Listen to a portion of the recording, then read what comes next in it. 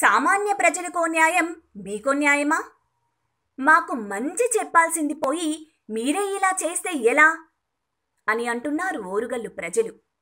వివరాల్లోకెళ్తే వరంగల్ ట్రైసిటీ పరిధిలో లాక్డౌన్ మరింత పటిష్టంగా అమలు చేసేందుకు పోలీస్ స్టేషన్ పరిధిలోని ప్రతి గల్లీలో పోలీసులు తనిఖీలు నిర్వహించాల్సిందిగా Warangal police commissioner doctor Tarun Joshi అధికారులను ఆదేశించారు. ఆయన ఆలోచన మేరకు ప్రత్యేక బైక్ పెట్రోలింగ్ బృందాన్ని కూడా ఏర్పాటు చేశారు.